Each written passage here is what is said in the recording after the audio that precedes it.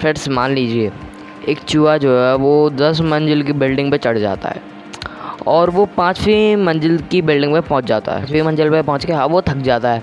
तो सर, थोड़ा आराम कर लेते हैं यार, बाद में चल जाएँगे दसवीं बिल्डिंग पे। तो अब सोई बिल्ली आ जाती है, वो उसके पीछे पड़ जाती है और चूहा बहुत तेज़ी तेज़ी से भागने लगता है। तभी वो कूद जाता है नीचे। और नीचे जब कूद जाता है, तब तो उसके चोट नहीं लगती, ये रियल फैक्ट है। मैं बस चूहा और बिल्ली तो स्टोरी है बट ये फैक्ट रियल है चूहे के बारे में। फ्रेंड्स फैक्ट जान के आपको कैसा लगा? मैं लाइक कमेंट शेयर और सब्सक्राइब ज़रूर कीजिएगा। धन्यवाद।